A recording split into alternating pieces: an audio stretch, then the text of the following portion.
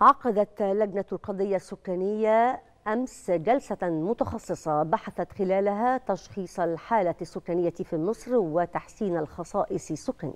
وأشار عضو الحزب حزب المصريين الأحرار عاطف الشتاني إلى أن توصيات الرئيس السيسي الصادرة حول الاستراتيجيات المعلنة تؤكد اهتمام الدولة بتحسين الخدمات المقدمة للمواطنين.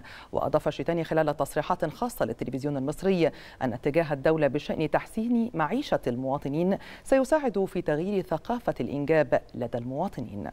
عشان نوصل للمواطن وده المقصود بالأمر الواضح إن تأثير السياسات المعلنة والاستراتيجيات هل يكون لها تأثير مباشر على حال المواطن؟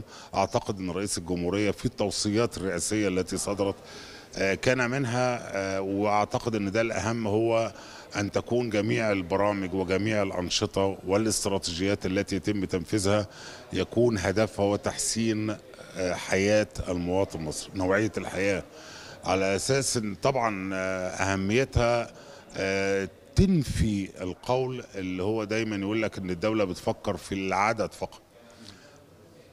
لا ننفي إن هو في الوقت الحالي أصبحت هناك قناعة موجودة أنه عندما نحسن الحياة وعندما نستثمر أكثر في التنمية سيكون المواطن بعدها قادرا على اتخاذ قرار بالنسبة للإنجاب قرار رشيد وبناء على معلومات